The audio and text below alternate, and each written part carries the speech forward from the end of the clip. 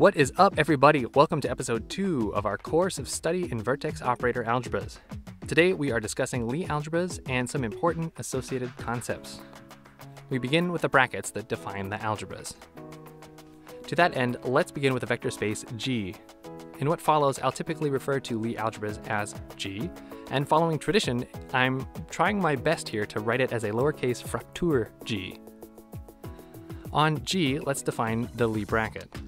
The Lie bracket is a sort of multiplication. It's a bilinear map from G to itself that satisfies two conditions. First, it's alternating, which is to say that the bracket of any item in G with itself vanishes. Second, when considering brackets of brackets, the Lie bracket must satisfy the so-called Jacobi identity, which you derive at from the first term by cyclic permutations. A vector space equipped with a Lie bracket is called a Lie algebra, Evidently, Lie algebras are not associative algebras.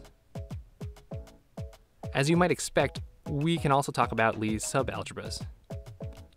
If H, that's my attempt at fraktur H, by the way, is a linear subspace of G closed under the bracket, then it's a Lie subalgebra. Basically, all the definitions we discussed yesterday carry over exactly as you'd expect. One important callout is that we call a Lie algebra abelian if everything commutes. These are dastardly simple beasts that often give rise to enormous complications, well, at least in a physical setting. Electromagnetism is described by an abelian Lie algebra.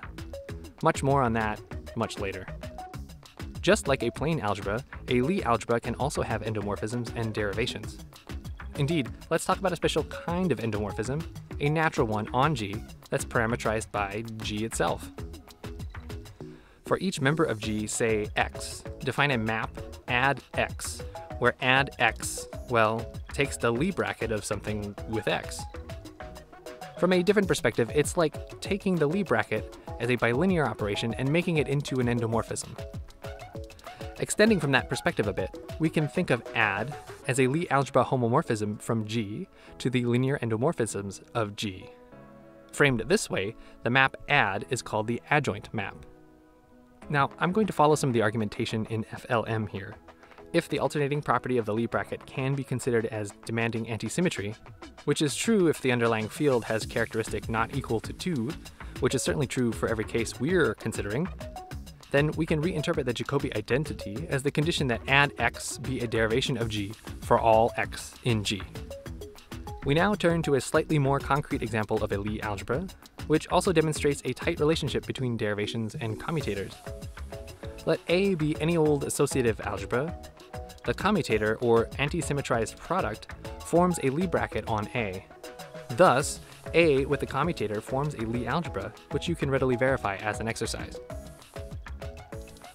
We now turn to a subtle but useful relationship between commutators and derivations. Let A be the endomorphisms of some non-associative algebra B. B might well be a Lie algebra, for example. As FLM points out, the derivations of B form a Lie subalgebra of A, which is to say the commutator of two derivations is, in fact, a derivation, which you might have already explored thoroughly in the exercise above. And that's our show. Next time, we'll investigate further structure on algebras, like their quotients and extensions.